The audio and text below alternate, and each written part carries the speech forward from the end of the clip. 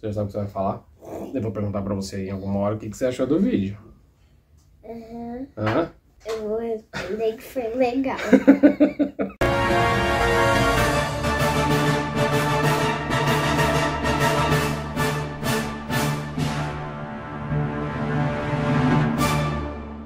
Olá, Batmaníacos, eu sou o Cauê Cassorla. Olá, Flash Maníacos, eu sou o Theo Cassorla. E hoje o vídeo é pra falar do trailer do- da Liga dos Super Pets que saiu hoje. E aí eu trouxe um convidado especial aqui junto comigo pra Sou gente poder falar do trailer. Mas antes do vídeo, já curte, se inscreve no canal e Ativa o sininho. é isso aí, pra você ser notificado sempre que eu postar alguma coisa por aqui. Ah, a gente é uma boa dupla, não é? É. Se um esquece, o outro não esquece. É. Hoje saiu o trailer completo da Liga dos Super Pets, essa nova animação da DC que vai sair aí, né? Uma animação que é focada no cripto. E tem uma curiosidade que eu nunca tinha pensado, né? Assim, e foi uma coisa que o Theo eh, me perguntou hoje que eu não.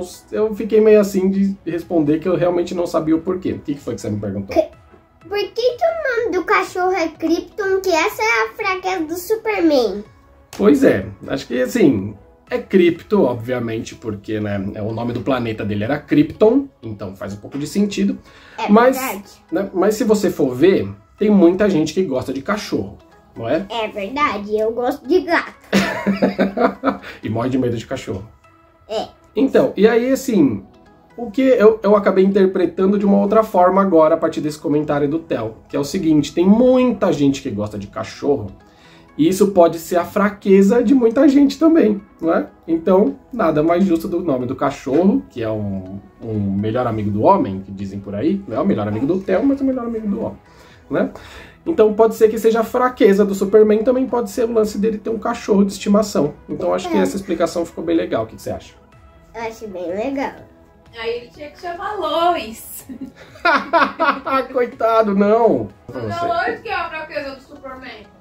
Bom, a sinopse oficial desse filme é que assim, a Liga da Justiça ela foi sequestrada pelo Lex em algum momento ali, e aí o Crypto vai ter que reunir uma equipe de Super Pets para poder ajudar ele a resgatar a Liga da Justiça. No trailer mostra alguns integrantes da liga, não sei se vai ter mais, né? Ali mostra o Batman, o Superman, o Cyborg cabeludo, né, que eu nunca tinha visto. É, Eu também não. Foi legal, né? Aham.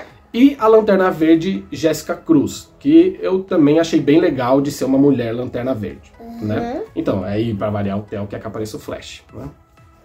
É. O filme vai abordar um pouco essa questão do Crypto ser um super poderoso, né? Um animal super poderoso e, e o trato dele com os outros animais. Inclusive tem uma cena engraçada ali dele com outro cachorro falando que tinha mordido um funcionário do FedEx e tal, e ele tentando arrumar uma coisa super poderosa e não tinha nada a ver. Que meu dono tá demorando tanto?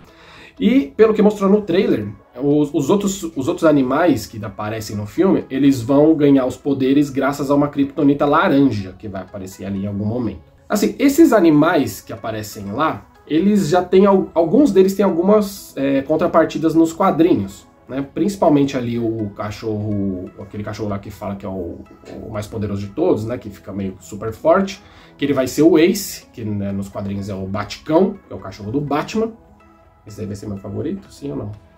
Sim. Tem uma tartaruga, ali também que eles até chamam de tartaruga relâmpago, que essa tartaruga também tem nos quadrinhos.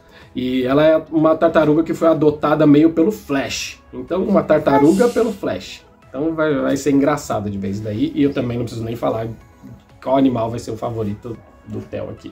É, que vai ser a tartaruga.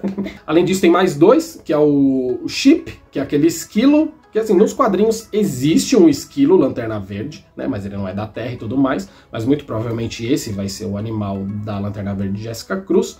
E além deles, a última é uma porquinha, que no, no IMDB está acreditada só como PB, que dizem, pelo que está tudo mostrando, vai ser vinculada com a Mulher Maravilha.